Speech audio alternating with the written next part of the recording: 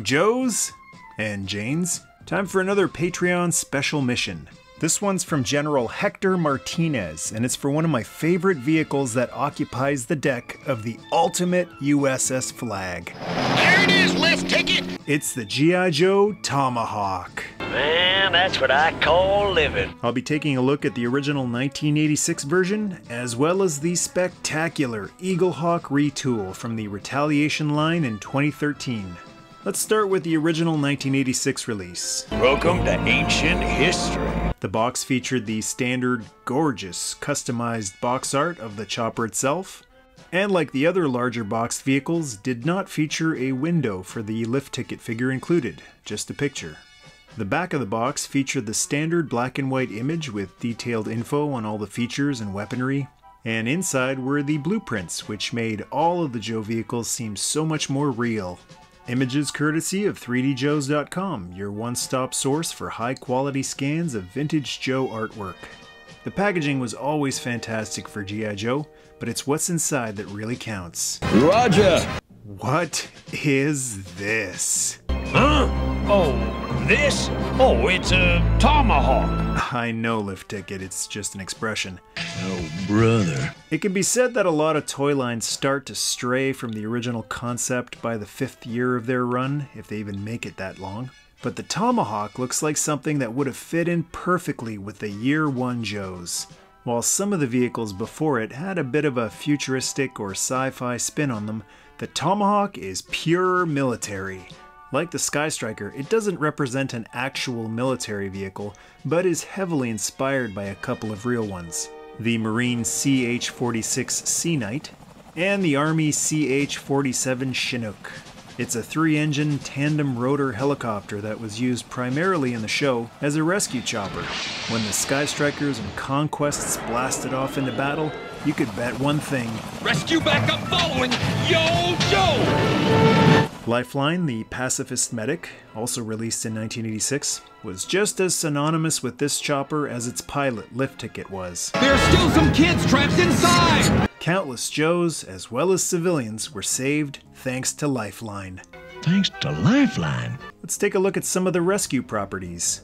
There was a hook on the bottom, which could be used to haul cargo, but I think more kids used it to let Lifeline swing into action like a modern day Errol Flynn or Indiana Jones.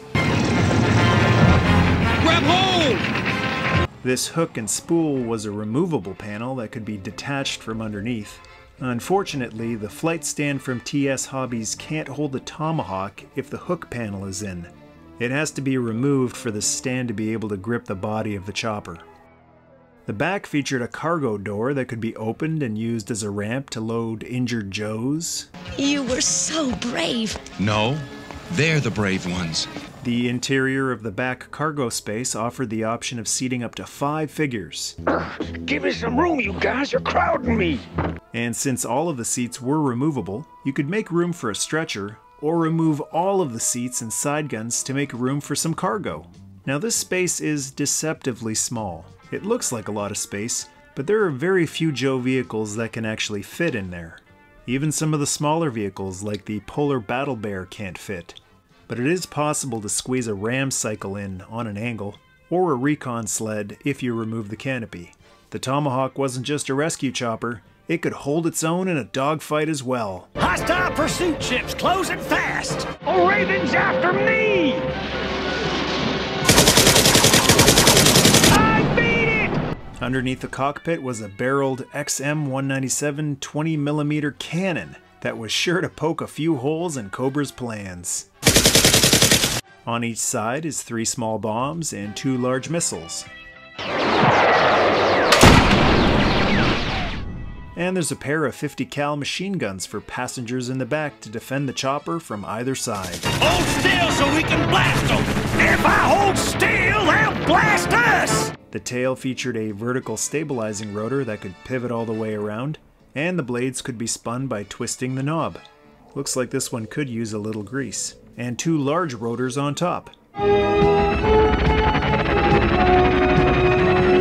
A common issue with many of these vintage Tomahawks is that the blades have drooped over the years, and they either hit the body of the chopper or hit the other set of blades when you spin them. That's one advantage the Dragonfly had, since drooping blades didn't collide with the body of the ship, and the Dragonfly also had a trigger to activate the blades. In classic G.I. Joe fashion, the Tomahawk had extra hidden detail underneath removable engine covers, giving your lift ticket figure something to do in between rescue missions. Lifeline, hand me the crescent wrench, will you? No! Well, why not for crying out loud? Well, because helping you arm a rescue chopper goes against my principles. That's why. Oh, brother. There were three sets of wheels underneath that still roll nicely, and the cockpit was a two seater that featured a see through canopy. The pegs that hold it in are fragile, though. One of them is broken on mine, but as long as you still have one peg, the canopy will still hold in place in either open or closed position. The cockpit featured a pair of control sticks that could move forward and back. It is a bit tricky to fit a figure into them, but it looks cool having an actual stick for the pilots to grip once you get them in there, which we're sorely missing from the Dragonfly and Skystriker. And let's talk about the pilot. The Tomahawk included Lift Ticket. His bio card reads Codename Lift Ticket, Tomahawk Pilot. File name Sikorsky, Oh, yeah. Close enough. Victor W. Primary military specialty Rotary Wing Aircraft Pilot.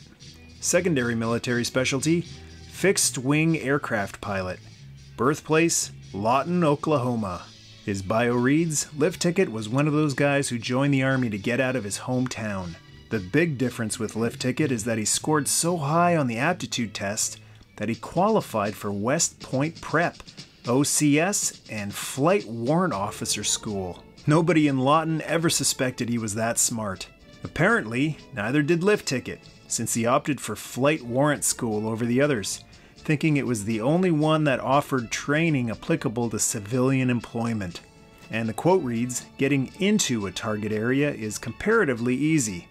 You wait until dark and get sneaky. Now, getting out after some caps have been popped and a can of firefight's been opened, well, that's another story. All you can do is squat on the LZ and hope that whoever's driving the extraction chopper is skillful, persistent, lucky, and bulletproof. Lift Ticket satisfies the first three requirements, and he's working on the fourth. Lift Ticket only included one accessory the often lost black microphone. In 2009, Lift Ticket received the anniversary treatment with a figure that was released with the Ghost Hawk, aka Skyhawk. This is how I like my updates. The look of the original has been faithfully maintained with a few upgrades. The knife on his leg is now removable, and his helmet is removable too, giving us a look at his flowing black locks. Brother. The vest is removable and has a hole in the back so he can carry a backpack. And the microphone is not removable from the helmet, ensuring it won't get lost like the original often was. A lot of Joe vehicle drivers and pilots got less screen time in the show than their ride did, but Lift Ticket was an exception. He had quite a few appearances in the third season of G.I. Joe, and it may have had something to do with the person who voiced him, Michael Bell, the exceptional voice actor who also brought Duke to life. I never realized Bell voiced Lift Ticket as well until researching this video, even though I've heard Bell talk to himself, so to speak, on the cartoon, which really shows you his range. We'll never find Van Mark's ski lodge. I think we just did, Duke. Lift Ticket was also one of the tougher Joes, I'll show you crybabies how to handle this! which served as a nice yin and yang to Lifeline, the conscientious objector who he was often paired up with on the show. It was nice to know that whenever Lifeline got himself in over his head, his Okie pal was more than capable of bailing him out. Is this a private party? Or can anyone dance?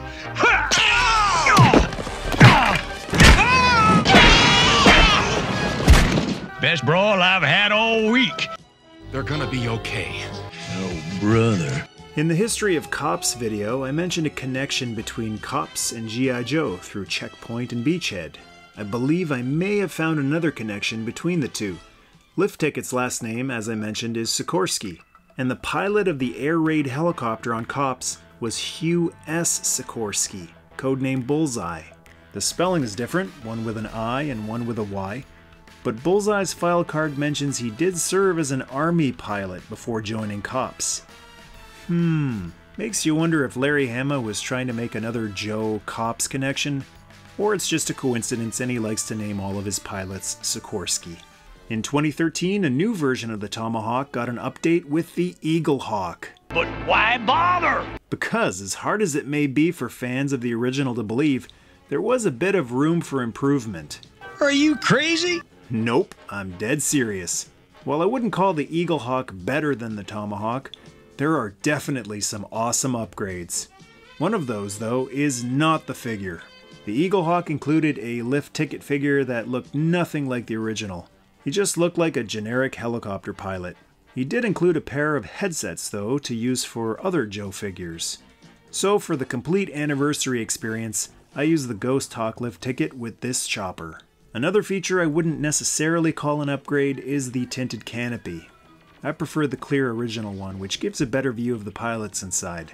One thing I would call a huge upgrade is these holes on either side of the chopper which hold backpacks.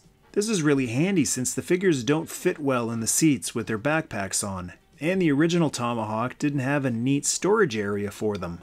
And since the Eaglehawk holds five figures in the cargo area like the original, there are even more peg holes inside at the end of the ramp to hold more backpacks. It's nice to not have this gear bouncing around loose since lift tickets sometimes doesn't give the smoothest ride. Just don't forget to put the pack on when you deploy your Joes, or lift ticket will remind you as only he can. Put it on, smart guy. Another improvement, in my opinion, is the hook is now built into the body of the chopper, so it won't accidentally slide out. And the dial is easier to access now being on the side instead of underneath. So now you can have your hook and your TS Hobbies flight stand too. The twin 50 cal machine guns have been upgraded too. More detail on them and two grip points for the figures. Although the 25th anniversary style figures have trouble getting their hands that close together. Another big upgrade was inside the cockpit. The original had a sticker for the gauges, but the Eaglehawk has sculpted details. There's more detail on the seats too, and the control stick has a lot more maneuverability on it as well. And in a case of if it ain't broke, don't fix it, the missiles and bombs are pretty much the same, as well as how the tail rotor operates, although this one spins a lot better than on my original Tomahawk. Opinions might be split on the seats in the cargo area. This time they're not removable, so you won't be able to haul small vehicles or make room for stretchered Joes. I do like how the floor has been recessed though on the new version, whereas on the original they were higher up. The rotors work the same as the original as well, just give them a spin. Okay, Chuckles, give this whirly bird a twirl. But a huge improvement is the ability to fold the blades in. This is a big plus for people who don't have a lot of space to display this chopper. With the blades folded in, it can now fit on a narrow shelf, or not take up quite as much space on the deck of your Flagg. The G.I. Joe Tomahawk may have been designated a rescue chopper, but with lift ticket behind the glass, Cobra had to be on their toes because he was one Joe that was always spoiling for a fight. And while the jets could only do strafe runs, the Tomahawk provided some steady air support against ground Cobra attacks, or other nasty things that may have crawled out of the Earth's core.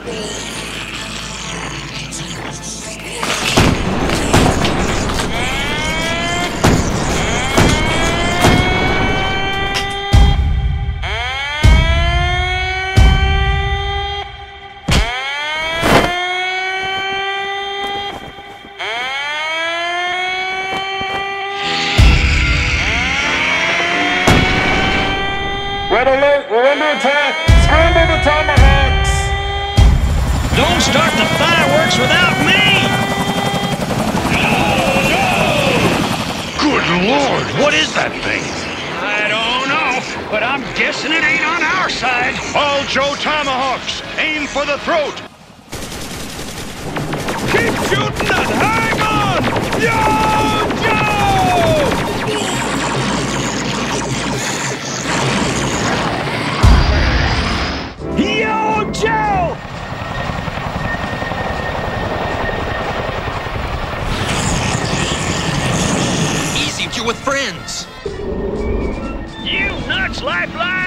Whether it's the classic original from 1986 or the fantastic update from 2013, The G.I. Joe Tomahawk is a cut above most choppers and an integral part of any Joe Air Force. Dead on! Thanks to Hector Martinez for the request.